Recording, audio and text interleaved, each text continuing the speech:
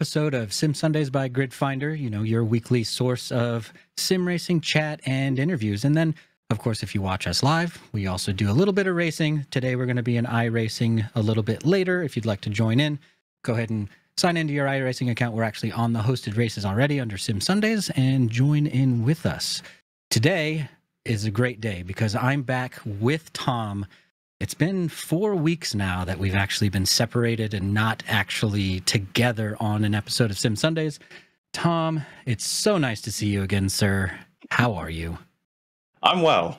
I'm well. It has been a while. We had two back to back holidays, not each. You were away in freaking Hawaii yes. for two weeks, which was kind of mind blowing for me because I was all excited for my holiday in Mallorca, sat getting some sun. So we're, we're, we're, we're tanned, we're rested, we're ready to go. We are. It's it's very weird because I've gotten so accustomed to talking to you every single week, multiple times a week, and then it's been literally a month.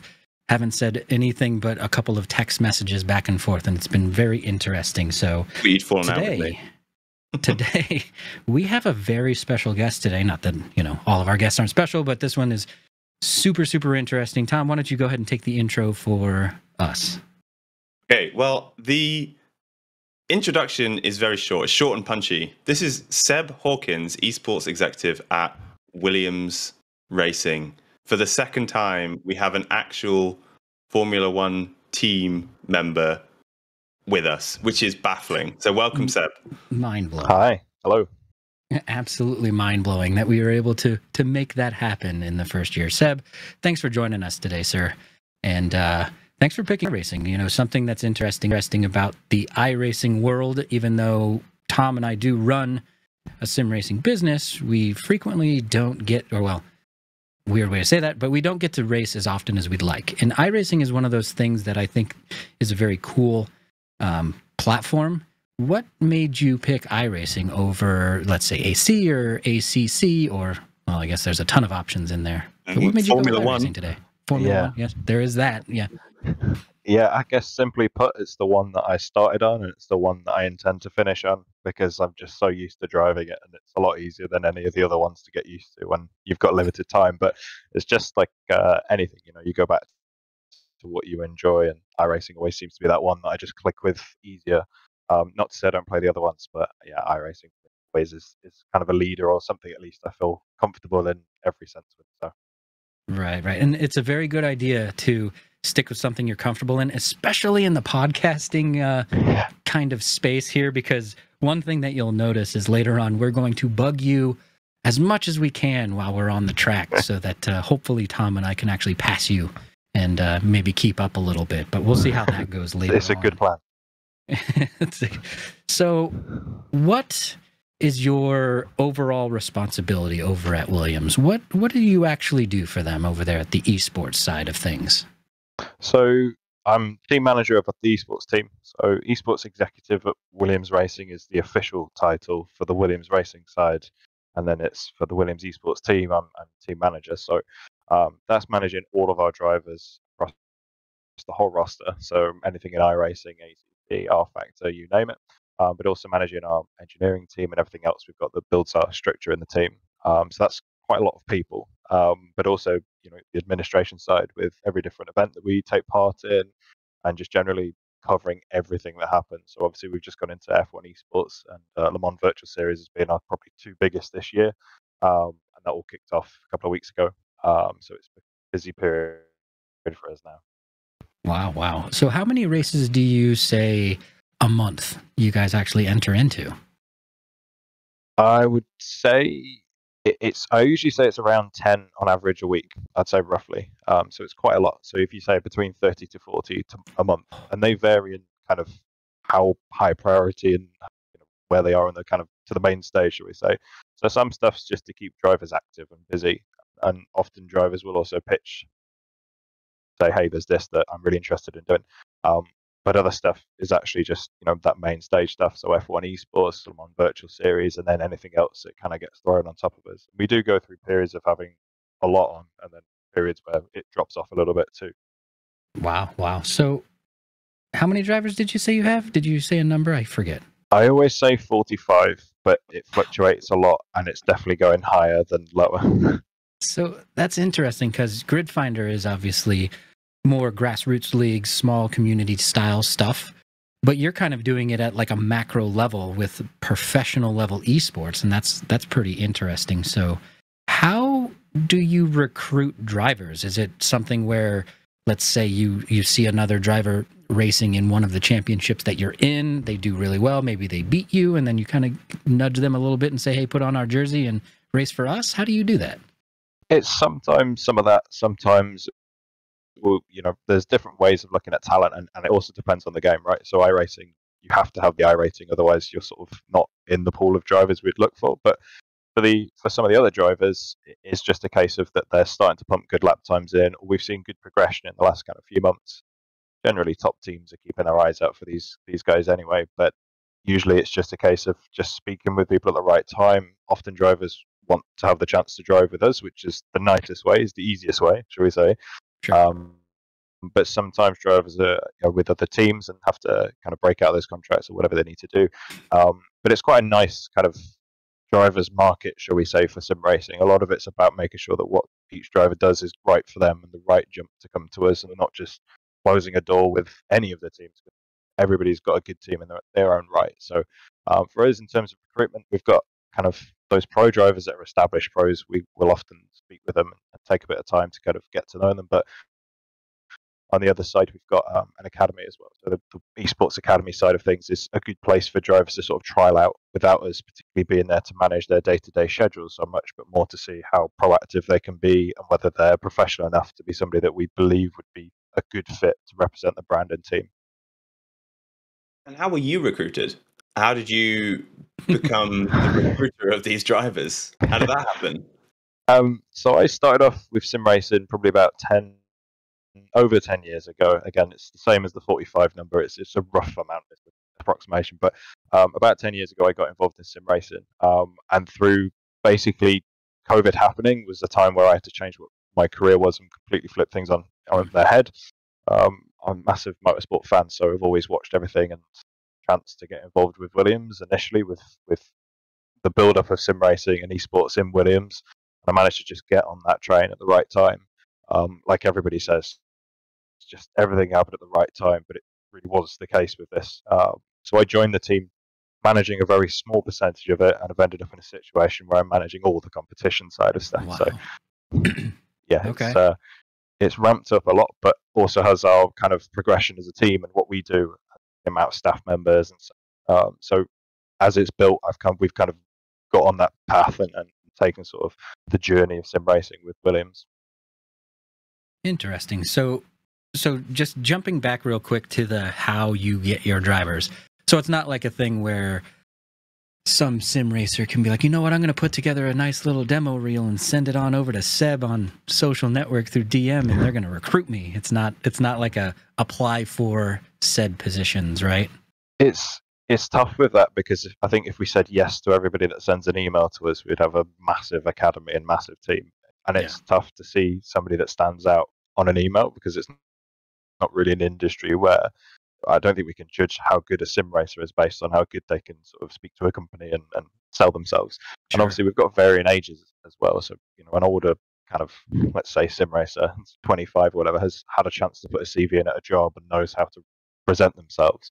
Whereas a 16 year old that's just worked out what Outlook is mainly used for, uh, it's not really fair to kind of judge them on, on in that way. So, again, I think it's better for us to look on track. And I think F1 esports is a huge area where we have a- bigger pool of drivers that are keen to get involved with us. So we have a lot of young drivers messaging, wanting to be involved, Mhm. and uh, we have a nice inbox where that goes to, and it's a bit like fan mail. We do try our best to filter through it, but obviously there's always things slipping through.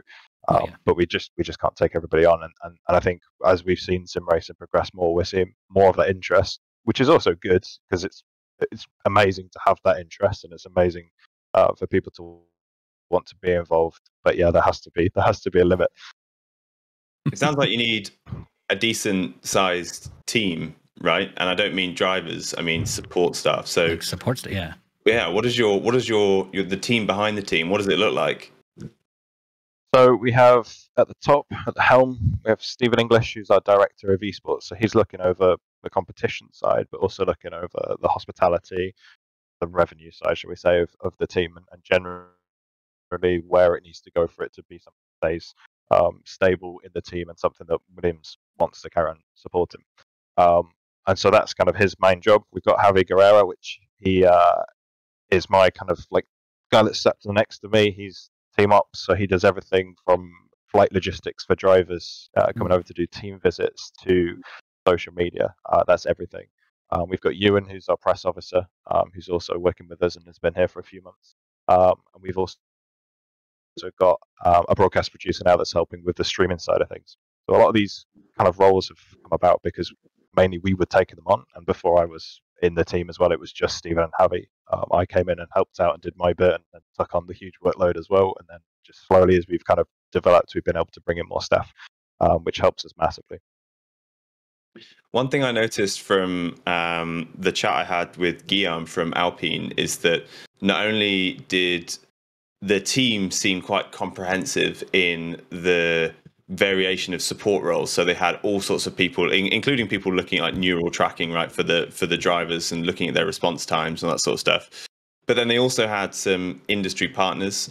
So they were talking about their industry partners for different kind of like glasses to help with eye fatigue and the different and their kind of their technical setups. Now I noticed that you've got Chillblast and Umbro and BenQ on your jersey. So how involved do you get to be with your industry partners and how do they how do they kind of make a difference to lap time in the in the races? Yeah, I mean, if you take Chillblast as, as a partner, you know, we have a PC go down as a, with us on Monday. By Tuesday, we've got a new one on the doorstep. So that's the kind of service we get with these guys, and these guys are here with support online as well, but also to, to send out new parts and products for, for whatever we need. So in that sense, a lot of these you know, partners on the on the show are all here to help us out, uh, and I think massively in terms of the competition side, but also the hospitality side as well. You know, we have the sports lounge with 20 F1 uh, setups in there and loads of different rigs, and they're here to help us with all of that because it's good for them, it's good for us, and it's a nice kind of crossover and partnership with, with these brands too. Um, and again, you could probably call them support staff in their own right because without them, we would be left with me on a Zoom call hoping to fix somebody's PC across the world. Right. Um, and as we've got, you know, and evolved and got a bigger team of people. You know, it's it, it, helps to have those people there. So yeah, massively, these guys are important to us. Um, and again, we've we've got the kind of help with the um, nutritional and psychological stuff too, and that all sits kind of in the background as well with our partners. Nutrition. Yeah. Yeah. So, so we. Sorry, I just wanted to pick up on that. So you lit. So there's a there's an interesting. Sorry to jump in here. There's an interesting kind of debate at the moment about the term esports right? Is it really a sport? Now, when you look at things like League of Legends, Call of Duty, Rocket League, etc., you don't have to have that much physical prowess to be the best in the world at those titles. Where with sim racing, you definitely do. So I'm interested to see, you know, how much the pro teams are really genuinely trying to create athletes, like esports athletes. I think what we're trying to do is is support drivers to not be seen. You know, a lot of what we're doing is, is trying to make sure that sim racing isn't seen, or even esports isn't seen as Williams having drivers who sit in their bedrooms all day, don't socialize, and just drink yeah. two liters of coke every day and, and just waste away. What we're looking to do is make sure that these guys have the resources. It's, it's entirely up to them as well. If you want to have that support, you can have that support. You can have a person there to help you. If you don't, you don't have to have that. It's not forced upon. Um, so we're looking to make sure that anybody that sits there and sees kind of the marginal gains of what a race driver might have, they can also start to implement that into their own lifestyle, but with the understanding of why and how long that sort of takes to develop in, in kind of the sim racing world. Additionally, it's a bit of a case study for us to see well, what is it that makes a sim racer particularly good? Is it that physical fatigue doesn't matter, and as long as you're there and you're able to eat healthy, then actually it's fine, or, or what is it? Where does it kind of go to? Uh, and what you what are you seeing at the moment? Are you seeing a strong correlation between you know the drivers who go out for a run four times a week and uh, are into their I don't know their yoga or, or they're kind of doing um, what's it called when you do the kind of the uh, aptitude style tests where you're looking mm. at reaction times and cognitive functions and stuff. Are you are you seeing a correlation between lap time and commitment to those practices? I think we're seeing we're, so we're still in the, the kind of stages of collecting that data, shall we say? Um, but what we're seeing is is drivers who are kind of mentally feeling a lot better and physically feeling a lot better from the work that they're doing with us and, and are genuinely just in a more positive kind of frame of mind when it comes to, to working and, and working towards testing. A lot of what we do is making sure that practice is that if you do have four events in a month, it's not that you never get to see the outdoors again. It's that we work with you to plan out how best for that to fall. Um, and if it is something that is, you know, they might have university or things happening outside of sim racing, and we've also got to be conscious of that to make sure it's fair to them.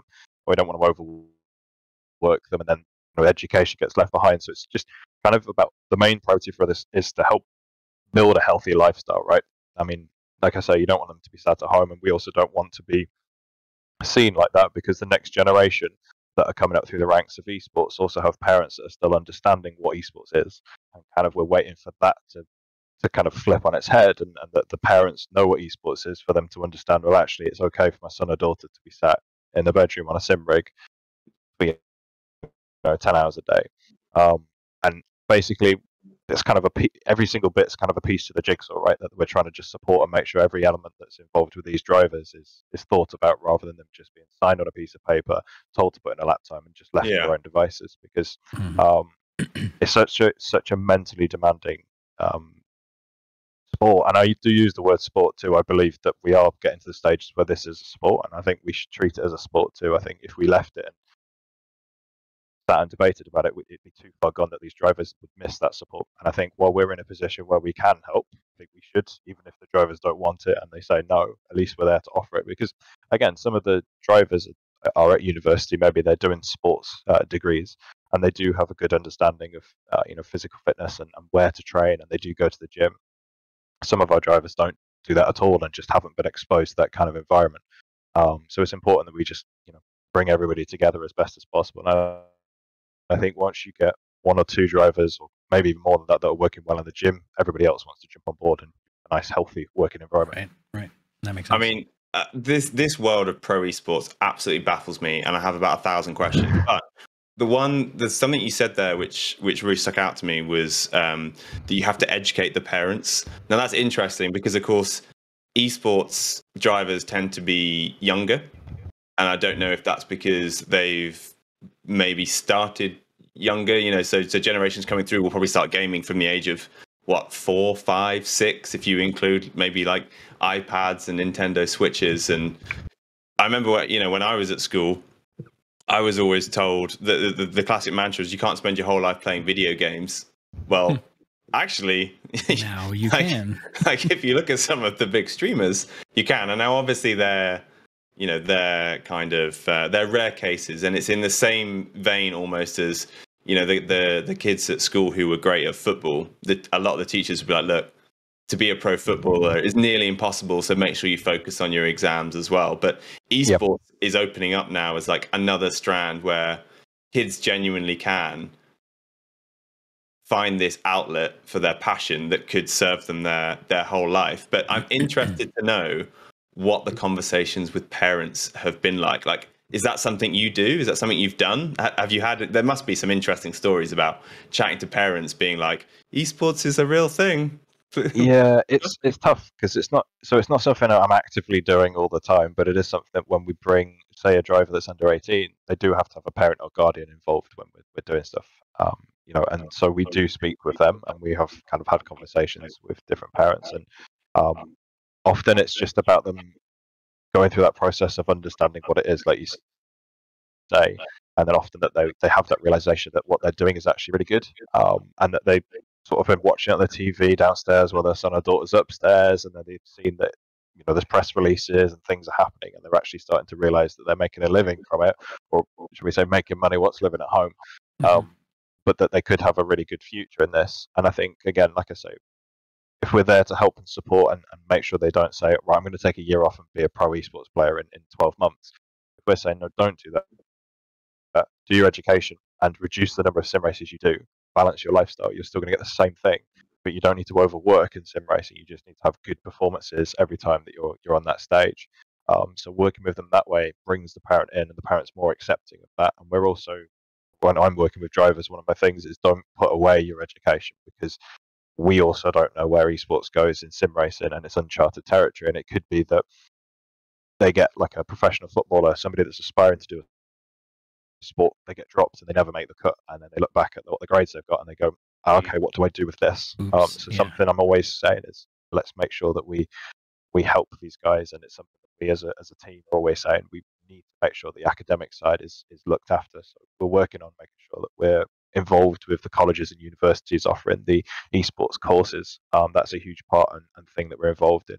Again, with British esports in the UK, it's, it's all about making sure that we're working to a healthy lifestyle. And, and probably that's one of the biggest things that we're preaching is that these guys can build up some really good skills, not only for going to jobs, you know, the ones that are young enough and about to go out into the world, we can help give them some vital team working skills and, and just helping them just fix some of the little mistakes and just using tools like social media that's one of the biggest stakes that we see is, is the use of social media mm. um, and just working on that with drivers so that i think my ambition is that if a driver would love to be in a real seat one day and working for a team i think that they if they got that chance tomorrow do they have everything they need to show that they have the ability to be a race driver or they're a nice, good, sort of balanced blank canvas that can be built into a professional race driver.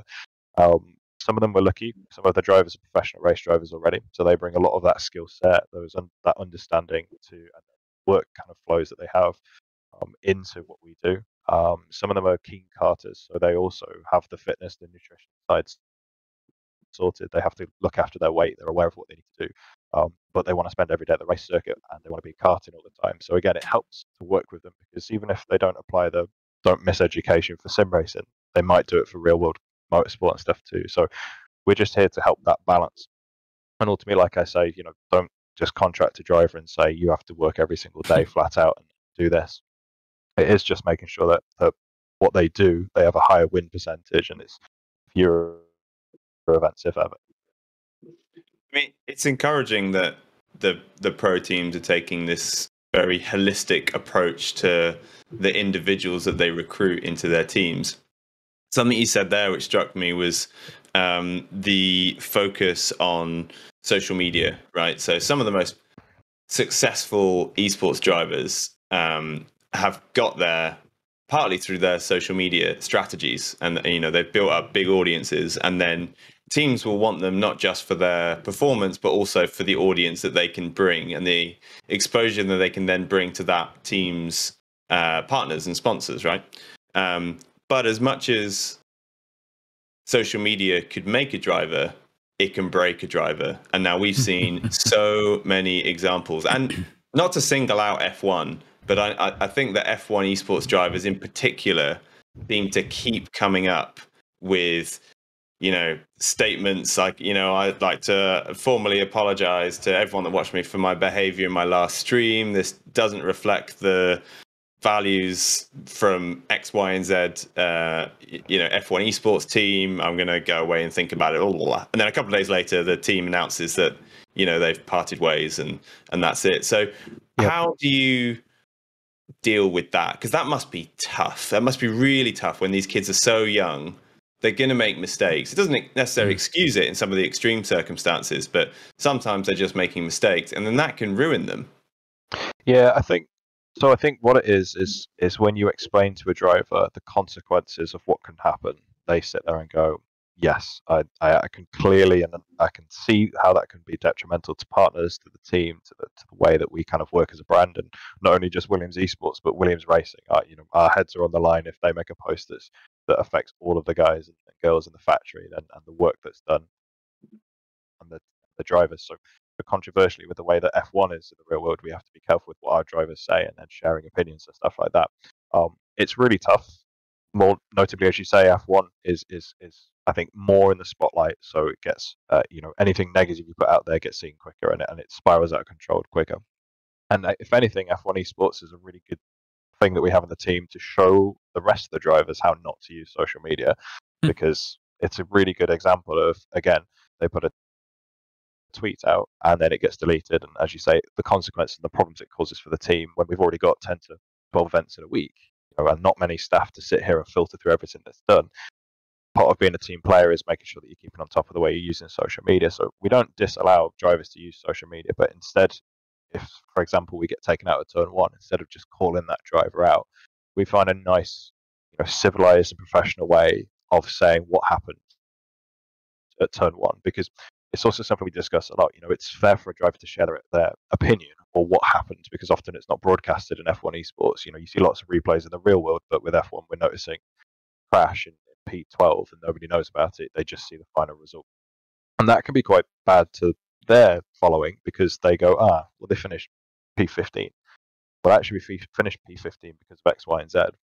And they should have that ability to explain why. And it's fair for them to tell their audience why. But we've also got to be careful because if they make a post and their audience see the post, or if they share a video feed, instantly, if you've got 10,000 followers that support you, those 10,000 followers are going to hate the person that hit you at one, be it their fault or not. Um, and so we have to be careful from that side. And, and like before we already pointed out, these drivers are very young, and mentally, if you've had you know, even 100 people coming onto your back and saying, you're a bad driver, I can't believe you did this to this other driver, it's a really bad thing to have doesn't matter if they're part of other teams or where they're from. We, we kind of look out for that too. The biggest thing we do with drivers is to make sure that instantly after the races they don't just make a post. Um, mm. you know, yeah. we sit down, we work with them, and we say, "What is it you want to post? This is how we can help it. This is how we can filter it if we feel it's a bit too negative." Um, and again, it helps for us because we can use the real F1 driver scenario and say, "Well, look what Nicky and Albon would do if they've had bad luck. They never just post something crazy onto social media unless it's something super strong that that all 20 drivers are in unison about. Um, so it is tough. There's no right or wrong way to do it. And I think, unlike working in an office space where you can stop somebody from doing something straight away, Discord, you do have that internet filter. And again, that that's a problem for Discord chats that go out of control for BOP testing or whatever.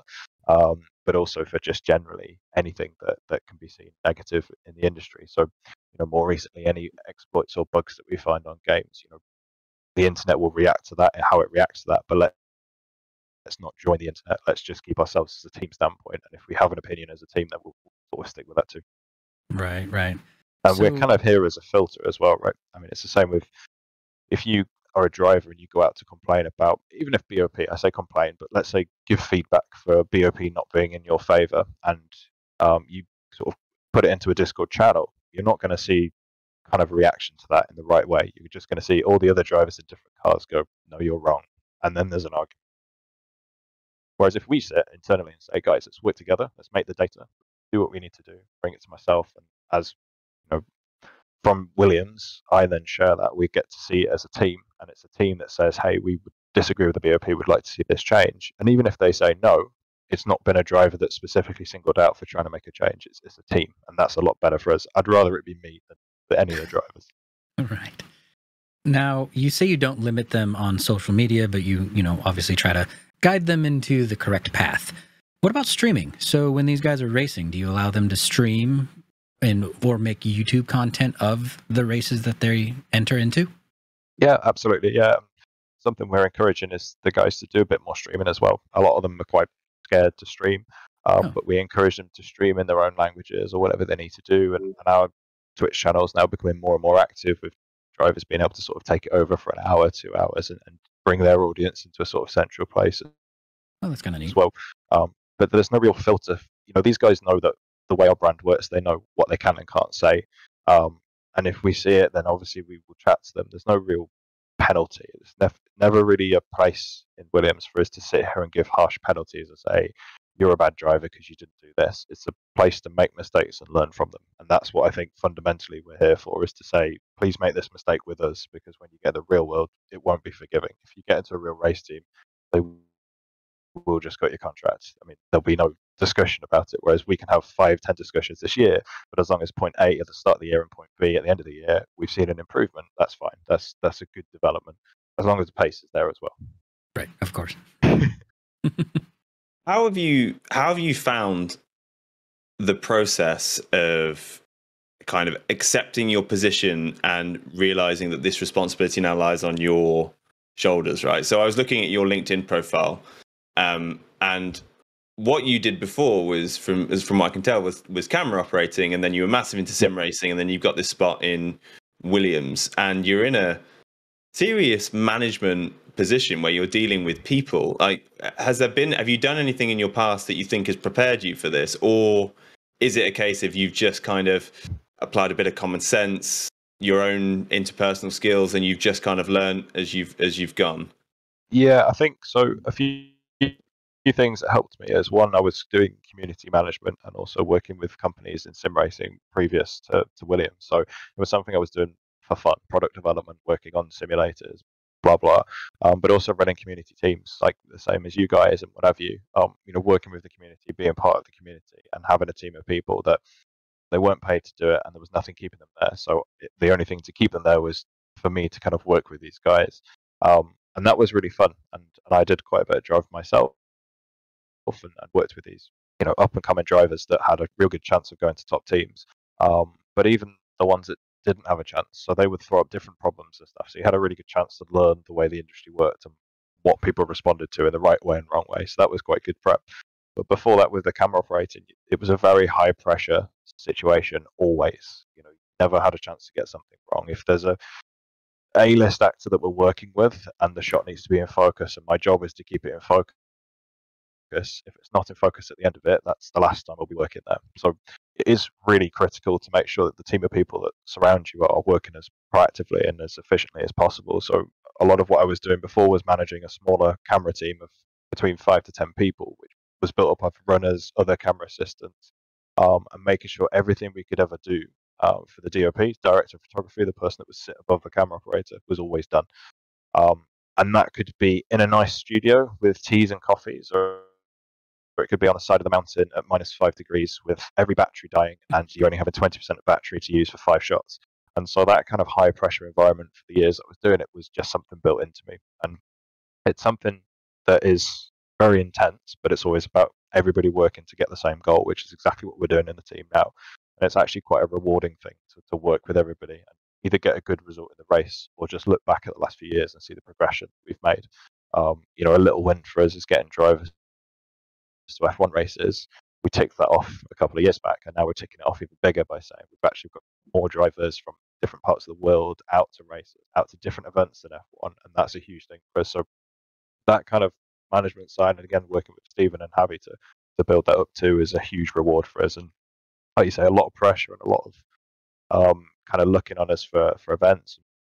You know, we are at the helm ultimately when it comes down to what the drivers do, but there's only so much we can do, right? So when the dr- driver gets in the car for that qualifying lap, it is ultimately on their head for what lap time they put in, and it, the spotlight does, you know, fall on those guys. So I think the if we were doing everything wrong from our side in terms of, and I'm not saying we're doing everything right, but if we were not not supporting these guys, leaving them to stay in their rooms, giving them some money to keep them quiet and, and contract them to us, I think that would be what we'd be doing wrong. Um, and I think it's a balance between the driver and team.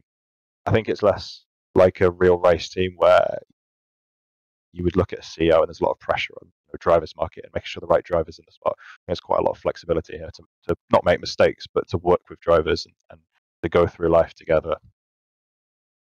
Right. I think one of the coolest things that that you mentioned is changing the overall, I guess, view of what esports is, right? So esports has always been kind of looked on as kind of I don't know, almost even a joke, I want to say, in a mm-hmm. way for it's up upcoming, um, and even now. So when I mention Grid Finder to some older generations in my family, they're like, "Wait, so people play video games this seriously?" And and and it just boggles my mind that we still are in a world where esports, video games, and professions that are within the world of video games are still viewed as kind of like a almost a joke.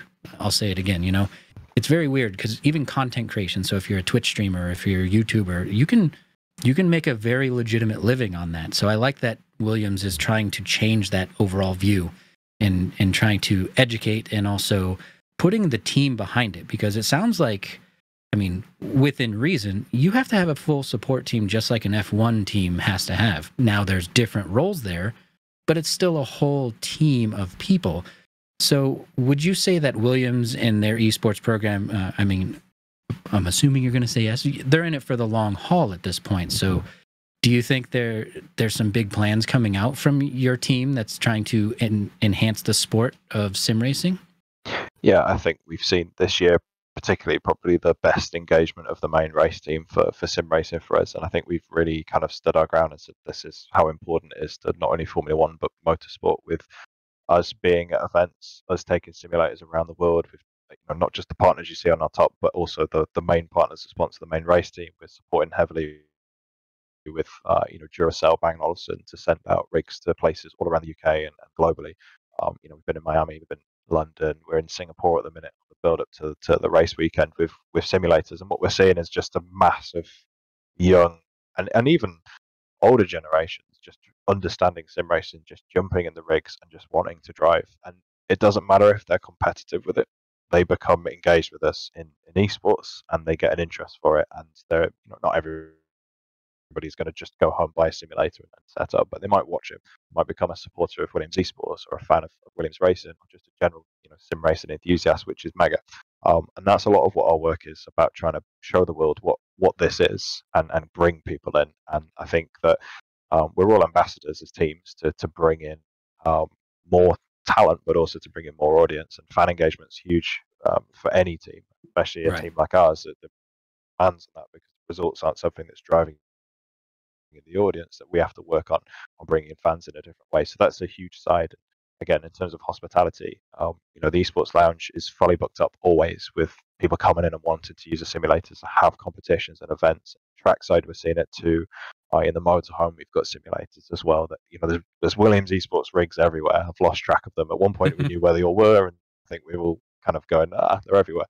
Um, but again, that's why I say our partners and brands are in this as well because their name gets out there in the same way as we keep pushing it out. You know, every new sort of uh, sim racing enthusiast goes, "Oh, you know, where do you get the PC from? How does this work?" And again, that drives people into iRacing, and ACC and onwards, and we can build the sim racing esports up more. I think that's the reason why um, maybe in in esports we're still a relatively small subcategory, um, but we're still making a name for ourselves and we're still pushing boundaries. And those main stage events are starting to come in more and more where um, again we're working with you know the same organizers of, of real, real real world race events And that's massive to us because it gets us into those marketing teams and gets to the right places pushes out and the likes of ESL get on board with games like Rennsport and the development there and that could be huge for us to, to really just make it out there and have just one main stage competition that could be what puts us in the kind of main eye of esports and I think you know in terms of people involved in sim racing the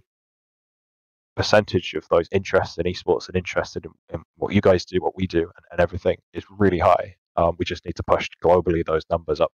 Um, right. But I think we need to look for more game, even just bringing gamers into what, what even F1 is. I think F1 is probably the biggest game to bring those into sim racing. Arguably, game simulator, all that kind of develop, you know, argument will always be there. But right. again, either way, it's still still a racing game, shall we say, and that's important to bring bring people in. So so there's a it is really thing, important to, to keep pushing. There's a really unique thing that kind of separates sim racing from, let's say, Call of Duty. We'll just use that as an example, right? So if I was to sit my wife in a sim rig, she's she's an adult. She drives around city and everything. She may not be the fastest driver, but she can still play the game and she can get better and better over time. But if I put a controller and say, okay, play some Call of Duty, the learning curve to be able to do the two joysticks and all the other you know little intricacies of the controller are a lot different than say a sim rig. So i think we do have a little bit of an advantage here when you mention some of the older crowd that's getting interested there that the barrier to entry while monetarily yeah it might be a little bit more than your typical call of duty or something the actual execution of racing is a lot easier for people to jump into. Because tom you're saying that you have in our little co-working space, you just started a lap challenge, a time trial challenge where people from around the co-working space sit down in the sim rig, probably never sim raced ever in their life, and they're still able to get around the track and actually enjoy playing the game. Whereas if you sat them in front of Halo or Call of Duty or or you know one of the many first person shooters out there, I don't think that that that fun factor would quite be there.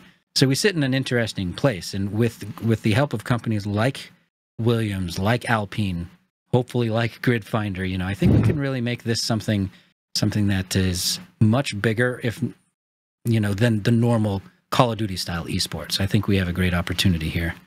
Yeah, I think like we've sort of discussed, and as it's we're seeing it more of a sport, it has got that physical side to it as well as the mental side, and, and it is something that has crossover skills. You know, you can't find a good footballer through FIFA. You probably could, probably a good manager, I would imagine. Yeah, Um, maybe. But in terms of the transferable skill set, no, you can't put a driver that plays F122 into a real F1 car and expect them to, to turn lap times. Um, but I do believe that we've seen it that you can put a sim racer into a real car and, and get good performances. And I think mentally, we're finding that sim racers tend to be stronger.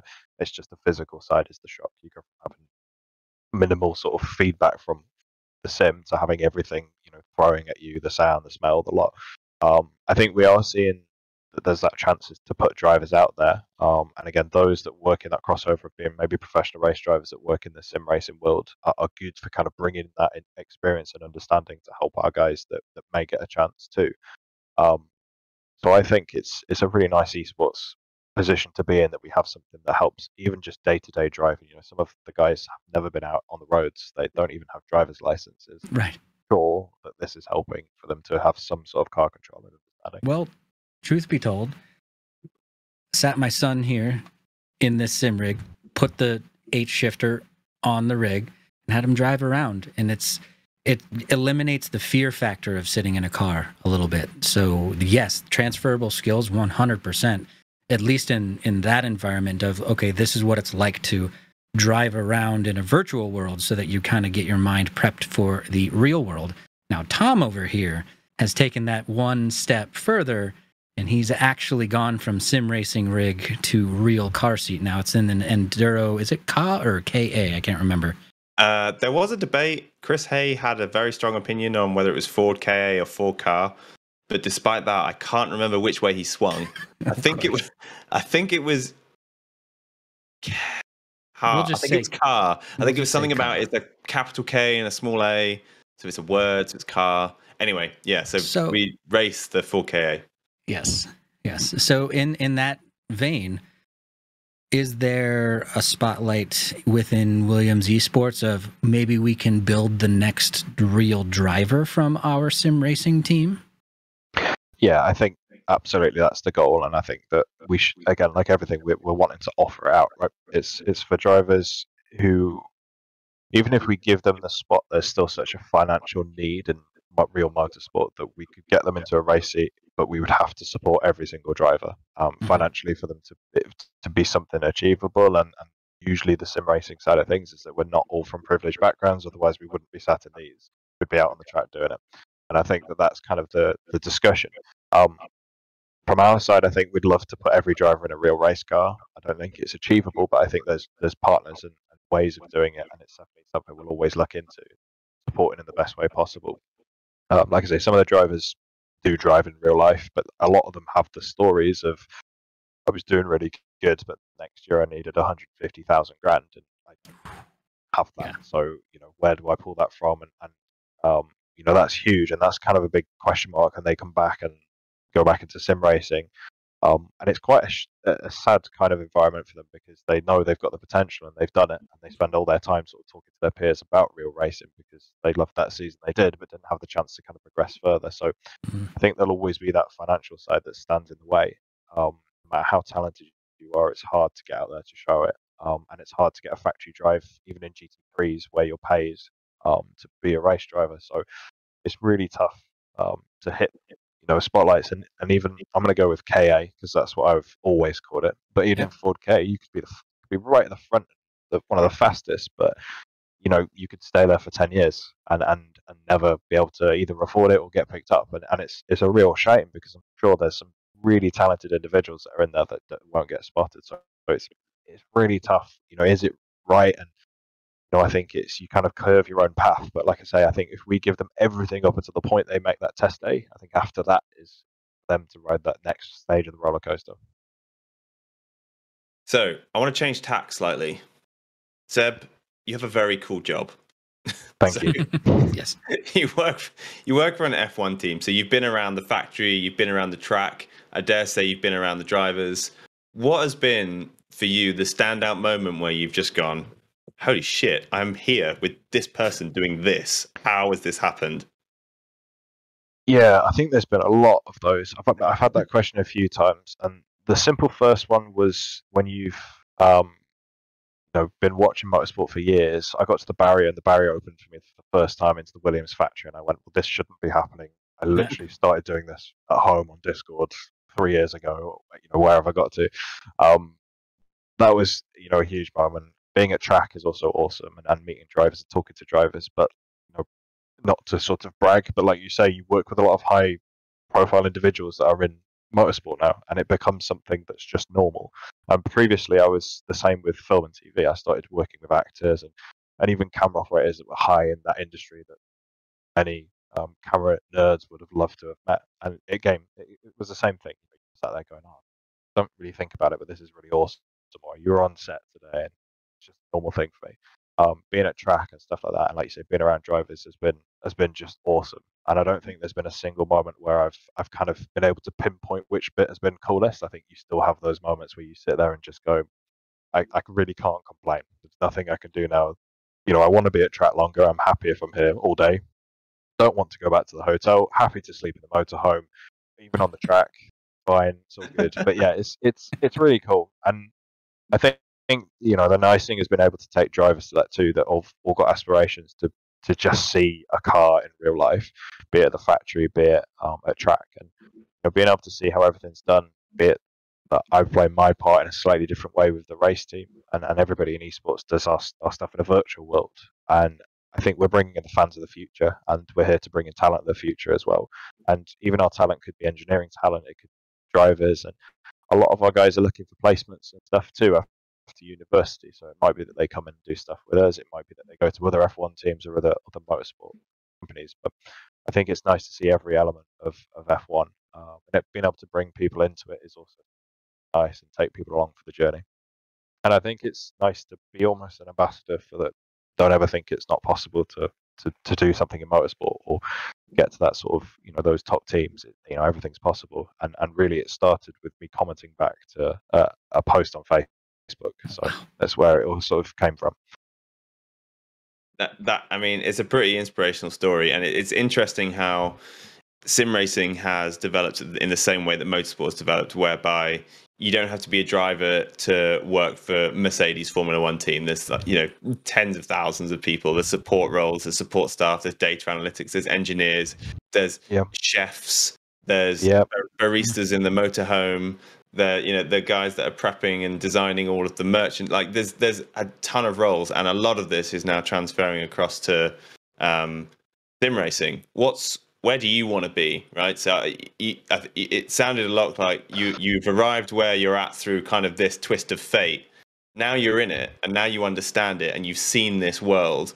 Have you got your eye on a particular thing a particular space a particular role that you're like yes that's what that's where i want to be in all honesty, no. And I think that that's the next chapter that needs to be written. And, and I think we're all kind of in this place in esports now where, we all have roles, but we're kind of the generation that's finding out where it goes to. And anybody that's in it now is also in kind of that position of where does it go next? You know, do we go through a stage of pro drivers finishing being pro drivers, becoming commentators? Do they become influencers? Where do they go? Um, and I think we're all kind of in the same boat where we don't really know. Does an esports press officer stay an esports press officer for forever? Do they just join with the team? Does the team become right up there with the same amount of following as F1? You know, where does it go? Um, I think that's the next bit, and we'll all kind of work out where that fizzles in. And I'm not sure if that transitions to real world motorsport. I'm not sure if it stays in esports. Again, I think that some drivers are also quite divided on this, which is that they might have the dream of being a race driver, but some of them have the brain to tell them that it's probably never going to happen. Mm. So concentrate on being an esports professional, working, climb the ladder in esports rather than motorsport. It's really difficult, and there's no right or wrong way to, to, to go. I don't think, and it's the same with any part of, of esports and sim racing and gaming. But I think for now, quite happy with the way it's going. And like I say, from the, the point A, the starting point of joining the team to now has been brilliant. And as long as that graph is going upwards with what we can do and what opportunities and experiences we're all sort of having and, and what we're doing for the esports world is, is, is positive, then for now, I'm, I'm quite happy on this this part of the roller coaster. But yeah, like you said, I don't know what the next chapter is. Um, I don't think it's being CEO of the race team. I don't think that's going to happen. Um, but I think, like you say, anything is possible, and I think as you pointed out, a lot of the sort of staff members involved in esports can also go into doing real world motorsport jobs. And that's a nice place for us to be because I think what we're looking at doing is just opening doors to careers in motorsport as well. And again, it's not that you have to, and you can be a sim racing engineer all your life, or you can make it in sim racing as an engineer with Williams F1 and then have a chance to, to go and put that on your CV and take that to a to another um, motorsport discipline. Very, very cool. So we're about 50 minutes in to the to the podcast now, but I think it's time that we throw some laps together in sure. iRacing. So if anybody wants to join us, we are still on the hosted races list, I believe. We are somewhere on here, I believe. But it's of course just Sim Sundays uh, with a bar and then Seb Hawkins on there. But yeah, let's jump in. And while we get everyone all set up and started on some laps, Seb, why don't you tell us why you picked this track and car combination to add to your your actual poll? So we're racing at Watkins Glen with the AMG GT3, and do those hold some kind of significance? And, and is that why they're on there? I think the so the poll was interesting. We also made our individual poll into the race team and said, "Hey, everybody just into the esports team. Everybody just pick a car and track combination. Now, some people were lovely. Some people picked the IRO one at hill climb tracks, which was never going to happen. um, so what we did is ran that and then picked kind of what the top ones were, and then I added uh, F4 at Donington because I love Donington. Uh, the Formula 4 sounded fun, but everybody was really keen for a GT3 at Watkins.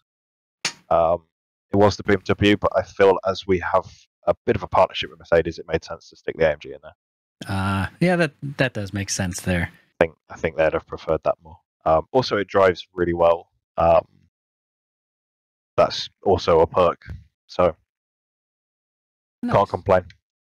Um, but Watkins, Watkins is interesting. wasn't always my favourite track. I used to drive a lot in rFactor um, back in the day. Really enjoyed it then. wasn't so keen on the first version in iRacing, but since the update, it's been actually quite good. Now we've actually Watkins Glen. I was joking with Tom, and it's becoming like the Sim Sundays track. We've done Watkins more than any other track that we've raced, um, and it's even. I think it's even taken over. Um, why is my brain not working now, Tom? What's the uh, the really long one that we race in Germany? Why is my head? In Germany, Nürburgring or Nordschleife. Yeah, yeah, the Nordschleife. So we we raced that one a lot as well. But Watkins, with this episode, has officially taken the crown for the most raced track. I personally really like Watkins. We've we raced in another older one. What year was that one from? In the classics, Tom. It was the it was the late fifties, early sixties. So it had like the hay bales as barriers. the hay bales, the half buried tires, and stuff like that. I managed to flip the car in in that one fabulously. Uh, but I really like this track. It, it just, I don't know, it drives very smooth, in my opinion. Now, I say that, and I'll probably be featured on the stream and crash, but that's okay. Maybe it's the one with the most straights to answer questions with. Yeah. Or at least the at least the long straight. If we'd thought about this enough, we would have made that a consideration.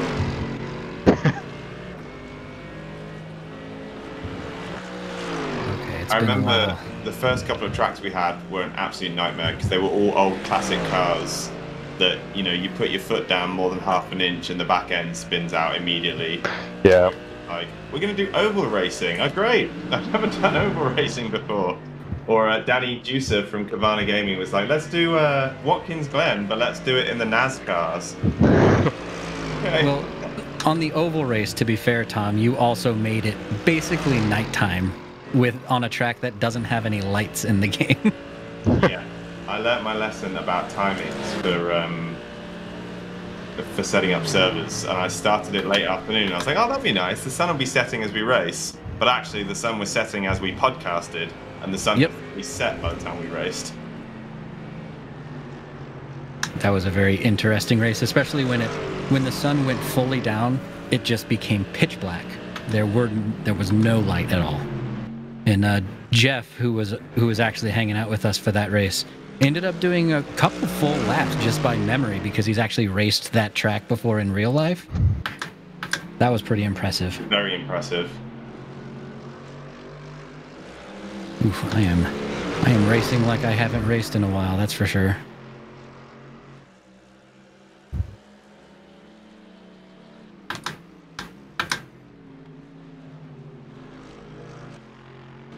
So when you race something like iRacing or ACC as the Williams team, are you do you have to choose certain cars because of your partnerships? Um, so not for every car, no. I mean, if we have a partnership that, that allows us to drive us, have an agreement to drive that car for a certain amount of events, but it doesn't mean that every lineup has to be in that car. So we might say that Merc has to be used for one round uh, with one car, um, and the rest can be whatever.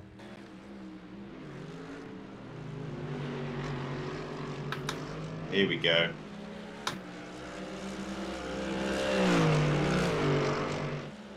The F1 Go- wheel may have been a better option on this one, Tom. This one feels weird on this car for some reason. The Formula Rim. Yeah. Yeah, it's definitely gonna feel weird with that big old wheel.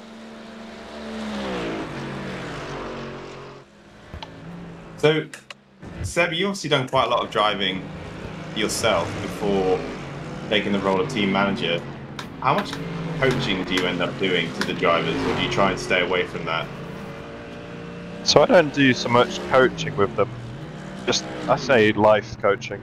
Um, but in terms of actual driver coaching, I don't do any with the guys. I did a little bit um, a few years ago just to help with just community level drivers to help them just get better knowledge of driving and iRacing mainly. Um, but we do have real world drivers there to help with that kind of coaching side. So um, they actually are classed as driver coaches in our team. Oh wow.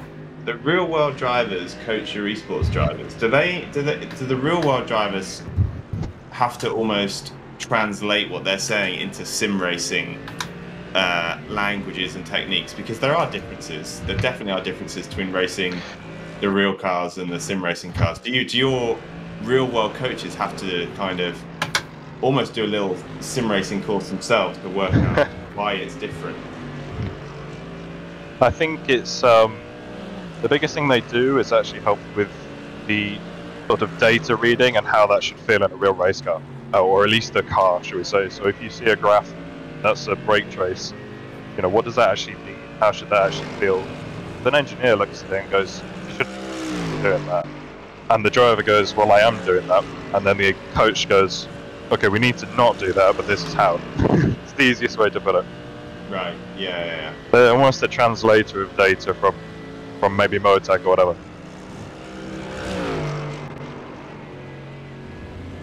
So practice sessions for these drivers. Do you guys organize weekly practice sessions and they kind of race each other? Is it a one-on-one kind of thing where they put laps together and then like they look at Motec?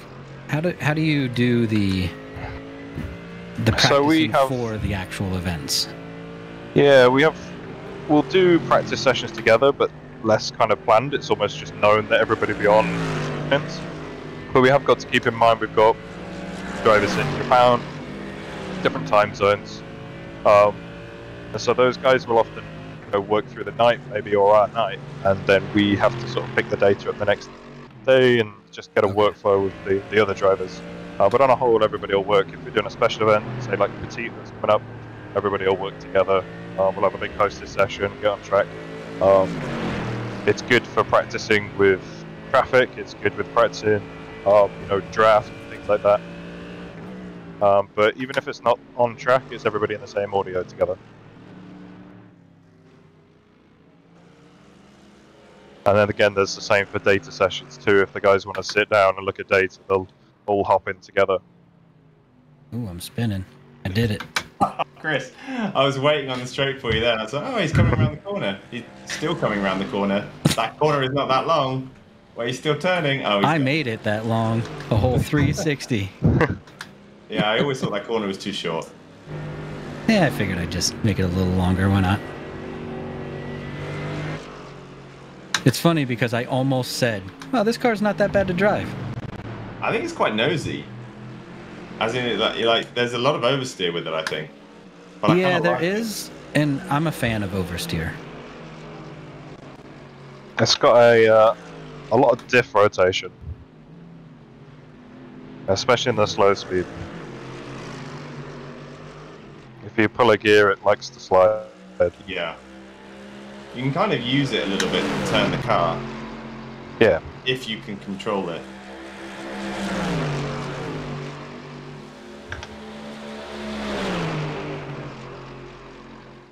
Uh oh.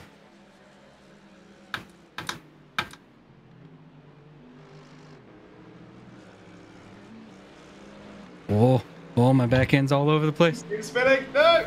oh, oh, Chris, we managed half a lap of racing there. I know. Oh, I think I damaged my car too much. All right, I'm gonna meet you on the start finish line.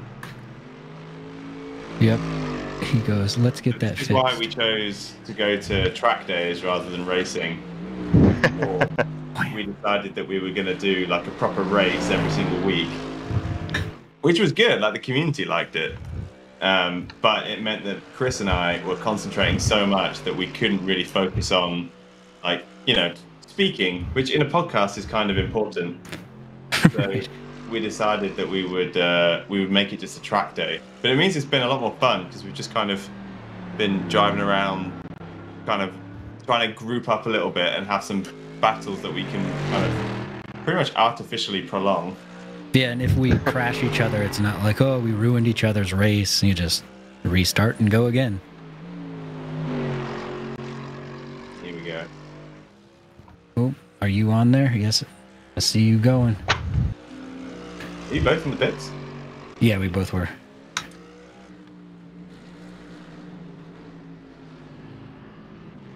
Oh, there you are. It's over there. Oh, I see you, Chris. Seb, if you're thinking that you need to get a head start, you don't. Well, I picked up a black flag, but I think we might end up back in the pits before we need to serve. Here we go.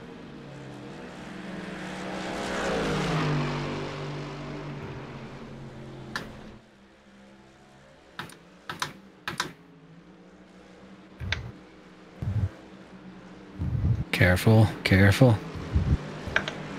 That's where I spin all the time because I plant my foot.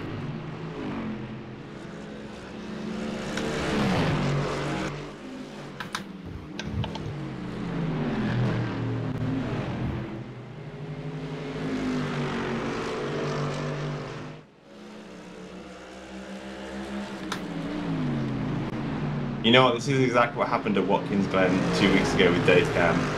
We all of a sudden just got a little bit, bit, a little bit racy and a little bit quiet.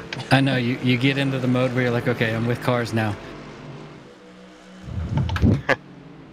oh, oh, Oh, I think we both went late there. oh no. Oh. oh, you almost made me flip the car. Nice. Think of the content, Chris. Think of the content. Think of the content.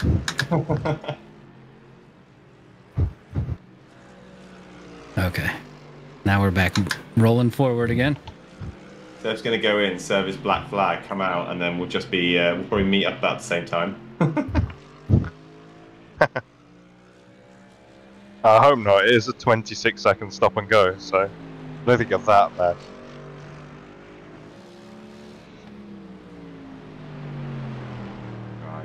right. Where? Oh, there you go. I see. That sign just says "Go bowling." New glass. Wow. Cor- Corning Museum. New glass. Wow. I like uh, some of the signs in our race. Oh, your car blends in with the background really well with that gray color. Man.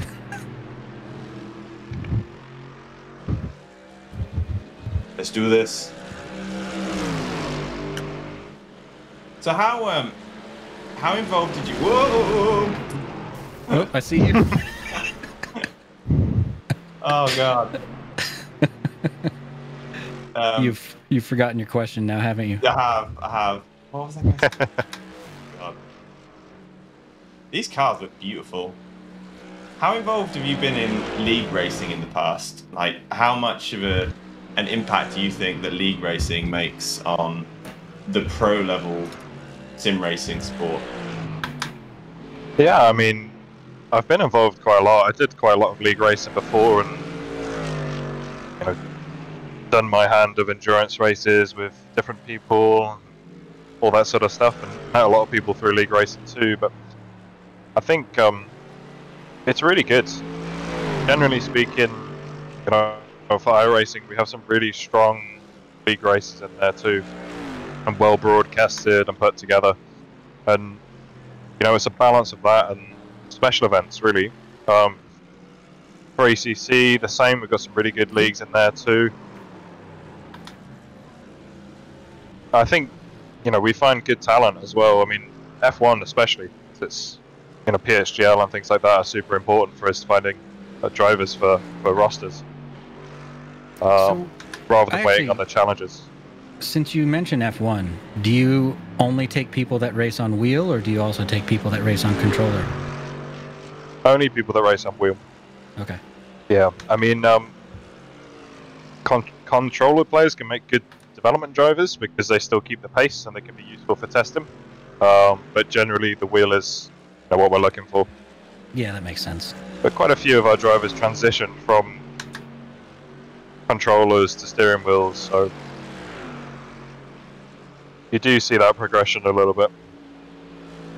So you can bring on someone that's controller, but they eventually switch to wheel. So that begs the question: if they sign on as a controller player and then they eventually switch to wheel, is it like a you guys supply the new setup kind of a situation? Yeah, so in terms of equipment and stuff, it's exactly that. Everything we've got from partners we can supply the guys with. So if we did bring somebody on that was good at controller for a reason and then they started to show that they were quick on a steering wheel or maybe they did a land competition we saw some potential then we could provide them with equip- equipment to help them. You know, there's always that option available and having companies like Fanatec is it's really good for for supplying wheelbases and things like that. And we've also got a lot of equipment at the esports lounge and also a facility there where we can just, you know, if driver's local or Cape based, they can come in and spend the day there and use it as they need to. Let's not make this corner more than it needs to be. That's pretty cool. So, so there is some room for those people who are dreaming of becoming an esports driver, but they only play on, let's say, PlayStation or Xbox or something. There's still, there's still options for them. Yeah, definitely. Yeah, I think that's you know, fundamentally a part of what we're doing as well. Like I say, it's about being able to bring anybody in. It doesn't mean that you have to have a steering wheel at home. You could still be talented. So we have to keep that option in mind. That's very cool. My driving That is is all the- over the place. sim racing is kind of simultaneously very inclusive, but then also not that inclusive because of the price barrier. So, other than the price barrier, it's the most inclusive esports ever because it kind of unlocks such a huge amount of opportunity for people who wouldn't be able to afford to go, you know, like you said earlier, Seb, racing for 150 grand a year. Yeah.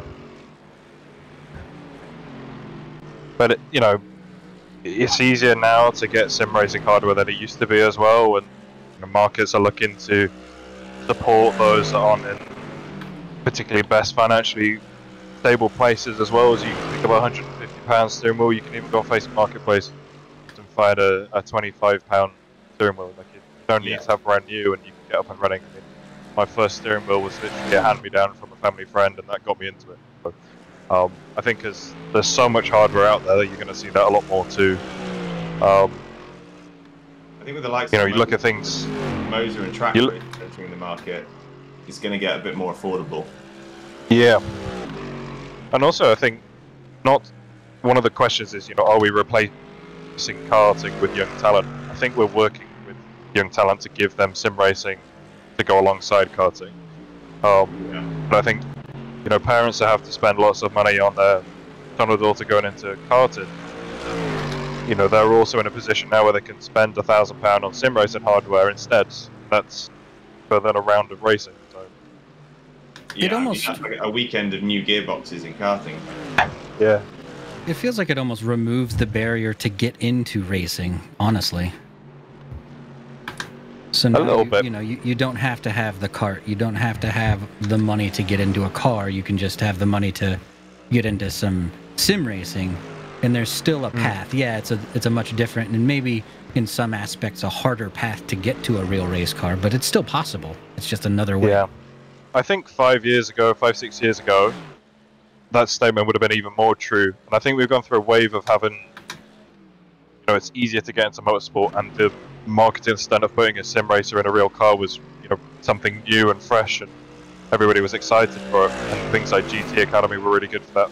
And I think now it's even more competitive to get into a real car. You know, one of the prizes used to be going out in a real car, and now it's winning a sim racing steering wheel or something. So I think I think it comes in waves a little bit. I think the opportunities are are kind of less there for drivers now, and maybe they- they would have made it in the top 30 of a GT race before and been four seconds off the pace, and now you're seeing sort of less than a second. Look at F1 Esports, it's less than a tenth sometimes. So it's you know the cutoff is a lot tighter because so many people uh, are taking part in sim racing. I think the other thing is you made an interesting point there, Chris, about it's cheaper to get into motorsport. But then, if you kind of break down what does get into motorsport look like, it doesn't always have to be, you know, I want to be a professional racing driver and spend all day, every day being a racing driver and racing. Getting into motorsport could just mean experiencing the thrill of motorsport. And now, this is probably quite a divisive statement, but I think you do get a lot of the thrill of motorsport from sim racing. You know, I, I know the, the you know the risk, the danger, the smell, the sound, all that sort of stuff isn't hmm. isn't the same, but the thrill of the competition definitely is. You know, I I admit that whenever I start like a if I've been preparing for an iRacing race, I'm big into the F3 series. Yeah. I've been practicing an F3 um, track combination for a while, um, and I've you know ready for my quarter past seven race or whatever it is.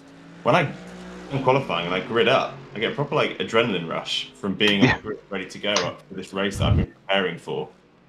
The key one is the left leg not working properly for the uh, the first few corners. Yeah, and uh, the the shakes. but yeah, it's, Ugh, it's true. Shakes.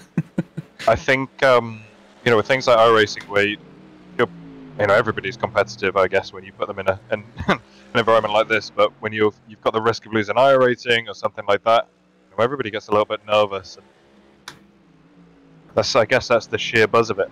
I think that's the thing that I might miss a little bit from games like F1 22.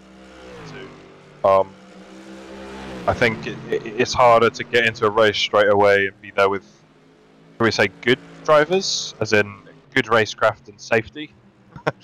Because it is, again, the thing with F1 is it fits in that spot where it's it's a, fundamentally it's a game and it's accessible for controller players and wheel players, and it's a space where you can download it for you know 40 quid online and you're away racing.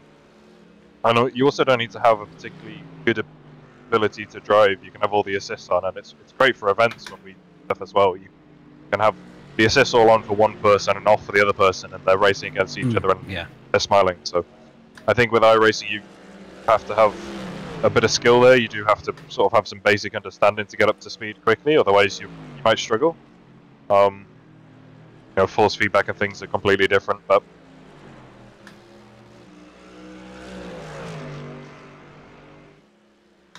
but I think the nice thing with iRacing is the the way the tiers work and the splits you know, it accommodates for everybody. You don't have to be a esports driver to be enjoying it. That's the main thing.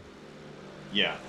I mean, the iRacing um, model, the the online model for iRacing, is the only reason I think they can justify the price. I mean, the handling is great, the, the graphics are okay, like the track choice and car choice is is, is great, but like it's Oh. fractionally better than something like ACC in my opinion. But the monthly subscription, which I know is like a really contentious issue, I believe is completely justified because of the constantly changing and dynamic online tournament structures that are created, which are all kind of uh, you know managed in terms of ability and ranked racing, etc. The the way I see it is, you- if you like to watch film and TV, you'll happily spend ten pound on a subscription to Netflix every month, uh, and you'll spend the same amount of time as you would do if you like motorsport and want to do racing every night. So it's it's I think it's justified, like you say. Um, it's tough because it's not what everybody likes. A lot of people like to just buy the game and have it. Um, Oh, I'm back. I'm back. But yeah, I don't think. I think if it was maybe twice the price, then I think that would be the time where people were a little bit more steering away from it. But I think, like you say, the online structure is so powerful that it's you know it is worth it. Um, I also like maybe the it's tough with the content, but Yeah, I, I definitely prefer the iteration on a single title, like constantly kind of improving the one platform rather than re-releasing the, the game every year, like in, in F1. Because it, you know, it's it's a great game. I love it. I love the story mode. I love the campaign mode, etc. But in terms of just being like Yep. a racer, my issue with it is that it comes out every year and is buggy because it's a new game. So that you know, new UIs and new systems, etc., which always have bugs. Whereas if they brought out a game called F1 and you paid what is it 50 60 quid per game if you paid Yep. that an annual subscription but it was the same game and they just you know did updates throughout the year and iterated on the same platform to me that would be more appealing because you know that the game is going to get better every single year and they're not i know they don't Yep. start from scratch but you know what i mean yeah, I agreed. One of the scariest things about jumping into iRacing in the beginning for me, because before iRacing, I was always the Gran Turismo style racer. So you buy that game, and then you have all of the cars in the game. All you have to do is just do a couple things to unlock them. And the intimidating part about iRacing is, yeah, while the yearly membership kind of feels like buying a game annually almost, when you get into it and you're like, wait, I only have eight cars and they're all different and I can't drive them on any track I want and then I only have this many tracks. It just feels weird and you have to get used to the idea that, oh wait, this is a racing game where I have like a career, so I don't need all of the cars and all of the tracks right off the rip. I need to work myself up to a point where then I need to buy a new track or I need to buy a new car. So that's coming from like a normal game, and I kind of air quote normal as in Gran Turismo or ACC or even Assetto Corsa. It just feels weird that you're so almost limited on content when you just spent, you know, $120 for your membership for the year or whatever.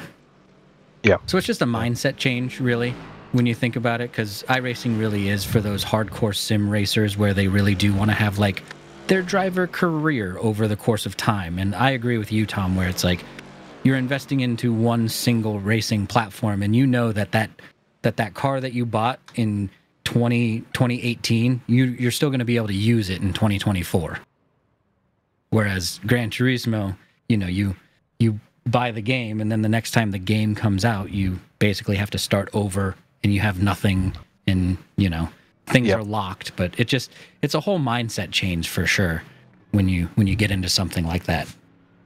Tom, did you just pit maneuver me? Because that's what it I- looked like. No, I s- no, no. Sorry to name you Jason Davis. It was Jason Davis was right behind you. I saw the crash. And it was Oh. annoying because I was 30 seconds behind you about 10 minutes ago, and I've just slowly every lap just taken two or three seconds out. And I finally, finally caught you, and then I saw you spin. I was like, no. No, I thought for some reason I thought that was you back there. No, it was not. No hard feelings, Jason. That's why we do the practice. That's fun. That's why we do the track day. And it's probably more my driving, not his driving. He had the right line, and I'm just like all over the place. I would yeah, be willing to wasn't accept it was that. fault. I was just saying it, it was, he, you make contact with him. That's all we're saying. Your Honor. But he was in the back. It's his fault, right? Yeah, that's how it works. I think that's the rule. right. Yeah, iRacing as a platform is a very cool and obviously a very successful business model.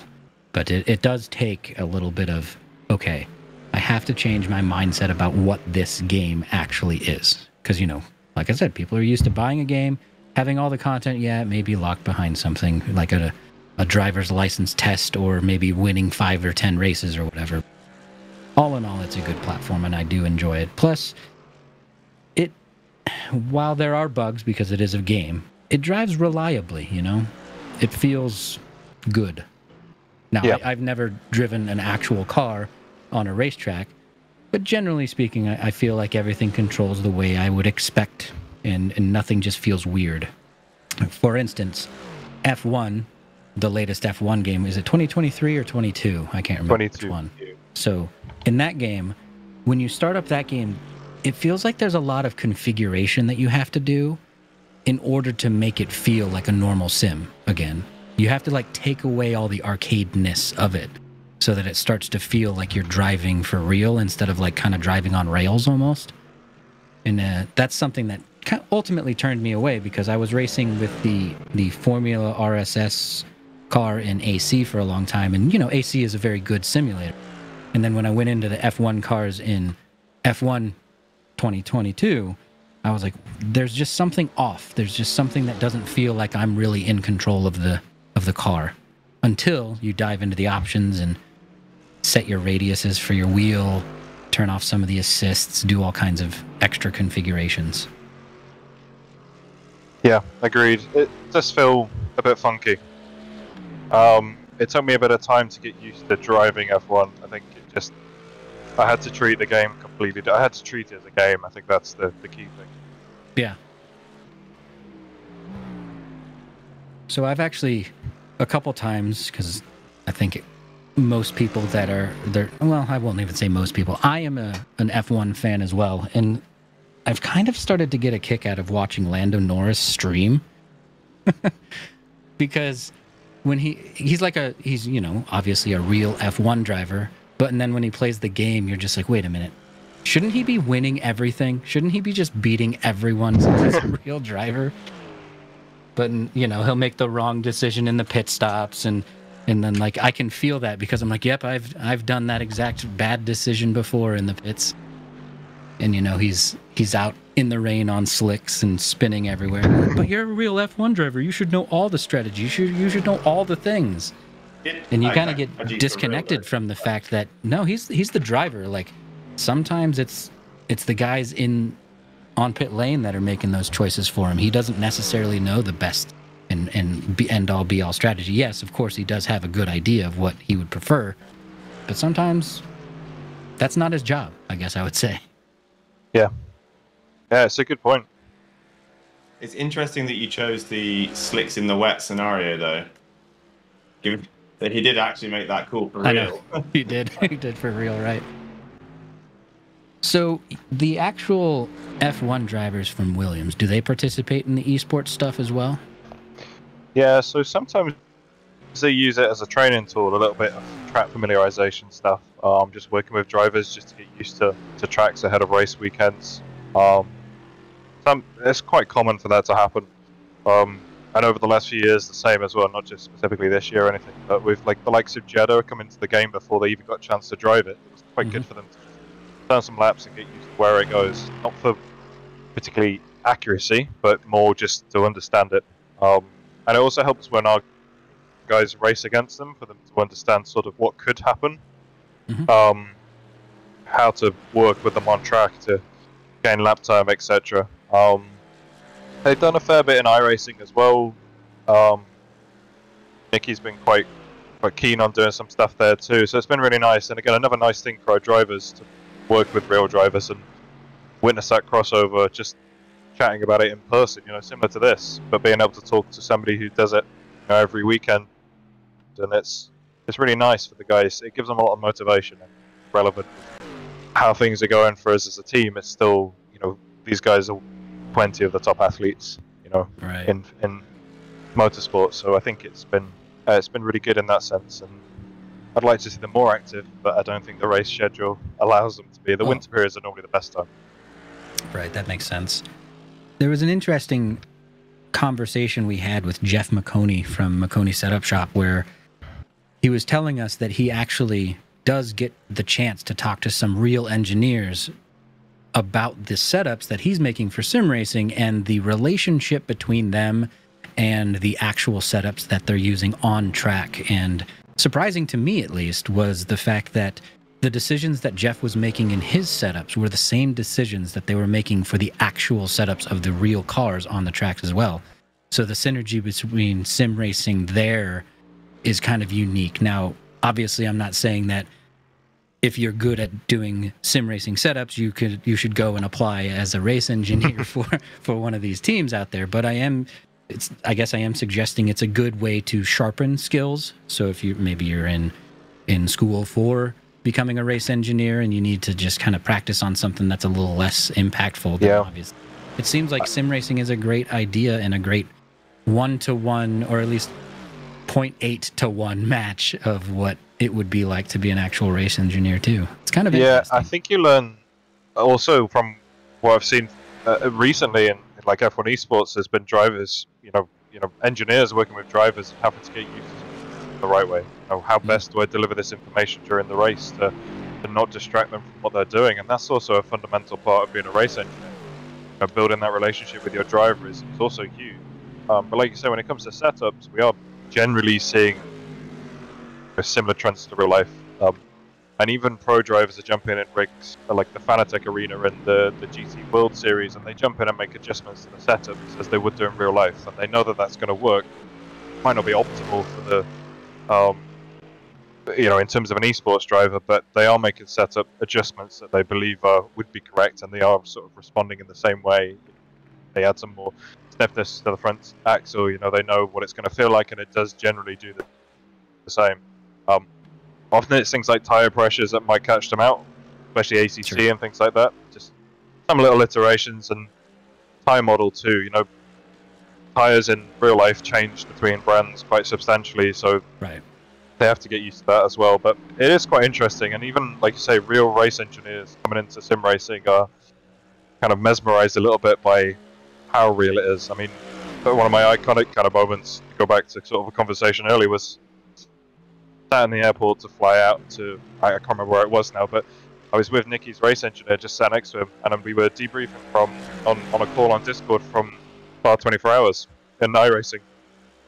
And I was looking at the data from the engineers, and he looks over and he was like, "What's this?" And I was like, "This is our engineering debrief data." And he was like, "That looks identical to our data. That's crazy." And I was like, That's- "Yep, That's it's amazing. the same." And you know, those guys and the race team are really interested in what we do.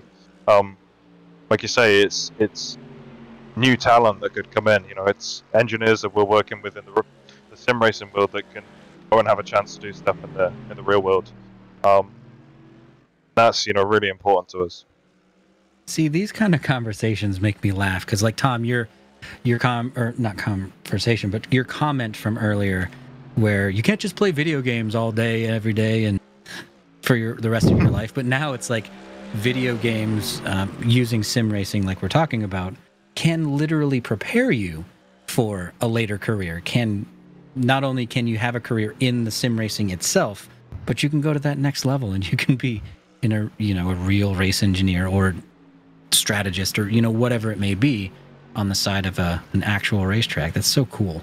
It's, especially Yeah. in the simulation genre, right? So, like, um, a friend of mine. So, I was in the Navy before I was into sim racing, and a friend of mine um, now works in a division of the Navy where they're looking for mil sim games, basically on Steam, to Yeah. like train their command and control functions on the, you know, on the the battlefield. Um, yeah, which is I think um, I, I, I might be wrong here, but I'm pretty sure the British Army guys are using um, World of Tanks currently to out strategize each other and sit and do five on five. Use it as again like having it in the office to play around with, um, but just to keep their minds active and working together and, and stuff like that. And it's really quite interesting. And again, that's interesting to me as somebody that does what I do. Interesting to see the army using a, a tank game to try out strategize other people, but it is. I think it's more included in what our day-to-day lives are about than we actually even know ourselves. Um, like you say, I think there's so many skills you can take into esports, and there's so much you can take out of it. And it can also work alongside your career as well. You don't have to be you know, in there making money in esports, but you can be doing something that contributes to what you do. That's also pretty powerful. yeah, you can just enjoy esports and sim racing. Doesn't have to Yeah. be doesn't have to be a career, career path, right? but it's Yeah, and that's it. But- It's certainly, you know, a far more valid career path in the minds of people who who influence children's decisions at the moment. Like, if you think that the um, esports and gaming is a bigger industry than music and film combined, like that's a, you know, Yeah. you can't you can't put that statement next to a statement that says you can't spend your whole life gaming. So you definitely can if you want to. Well, it's the Yeah. entertainment industry, you know, because there was that old, there's that old meme. I don't know if you've seen it, where it's, let's say it's it's a cartoon character that walks into the to a room full of kids and they're watching Twitch or what they're watching a streamer play, just a random game, right? And he's like, I can't believe you want to just watch that. Why don't you go play the game yourself? And then the next frame of the comic is that same person who just said that sitting in front of the couch watching a football game, eating their popcorn. It's like those are like a one to one match realistically when you when it comes down to entertainment value. And then the one thing that we kind of touched on briefly when when you mentioned that you're not going to play FIFA and then go professional footballer. You could be a sim racer and then eventually become a professional racing driver. So technically, if we really want to break it down, video games are better. yeah. Yeah, and even with that, you know, like you could like a FIFA and just completely pick it apart and say, well, actually, you wouldn't be a professional footballer from just playing FIFA, but you could have a job in football by meeting people Oh, yeah. through playing FIFA with other individuals. And like um, you said, you could maybe coaching, strategist, Yeah. and stuff like that definitely would, I think would the best come into people players play. in the world would probably make decent managers and coaches. Yeah, yeah. I mean, also there's what F1 manager. Yeah. teaches you managing an F1 team and in a co- of course a controlled environment with artificial intelligence, so it's a lot different. But still, the strategies are all kind of sound, and and the ideas behind what you're doing are pretty sound. It's very interesting how how video games are kind of changing the way people can educate themselves. Oof. Oh God, Oh, sorry, sorry. Oh man. I took I took two very wide lines in a row there. oh God, my steering. Well, with that wonderful take out there, um, we're about an hour and a half in. So, do we have any viewer questions out there? Let's see. I didn't pull up the Discord very reliably on this No. episode.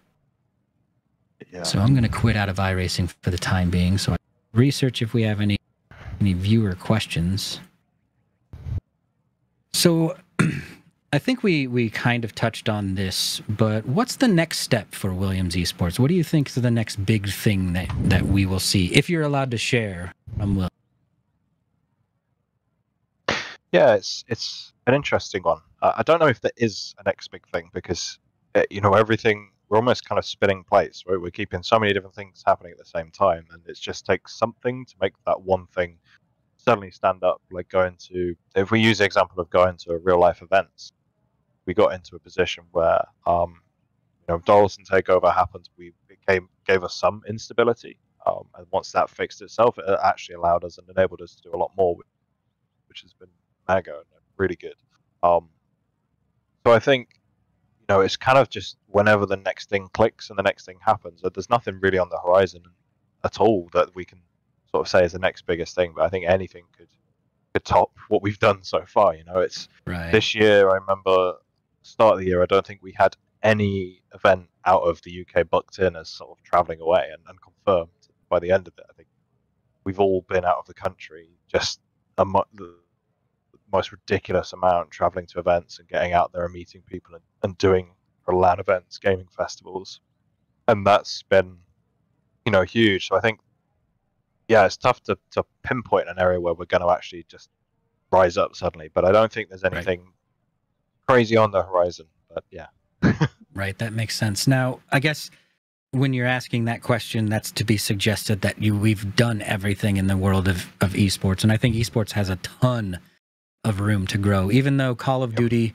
and their World League and everything got massive, and Valorant and all those first-person shooters and Dota and things are doing things.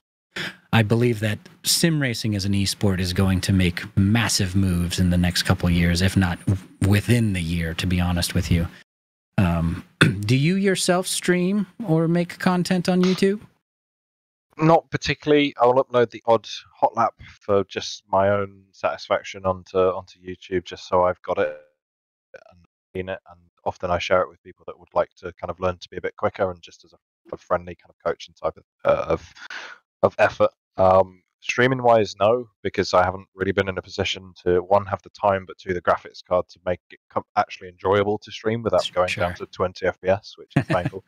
Um, but I did do a test stream the other night, so who knows? Um, like anything, it just the commitment and time to do it. But I think um, you know it's always something I've been interested to. But also with the the, the way that the broadcasting is going on our, our Twitch channel for Williams, you know, there might be a chance to do a lot more streaming there and, and pushing socials and stuff. But I think there's definitely been an increase for a lot of us for, for social media. So there's probably more of an opportunity now to to stream and have an engagement with our audience, which is also really important and a crucial part of what we do is just meeting people and explaining what we do so that we can widen the eyes of everybody and, and you know the more you speak to people the more everybody understands and that's been the same even in the race team and what sim racing is um, so i think maybe streaming is a good a good route to showing people uh, and giving them an insight as well so if some of our listeners or viewers wanted to catch some of your esports teams where's a good place to kind of get attached to the events and the stuff that you're putting out?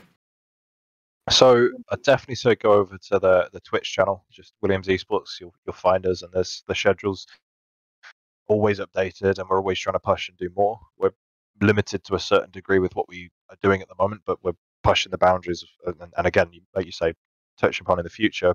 At the moment, we we have a relatively small audience, um, but again, that's one of the big goals is to to flip that, and we have the power to, but we want to do it the right way, and we want to make content that's that's engaging and unique rather than just uh, you know um, making kind of similar content and like you guys making something different, trying something out, and just trying what the community likes and enjoys.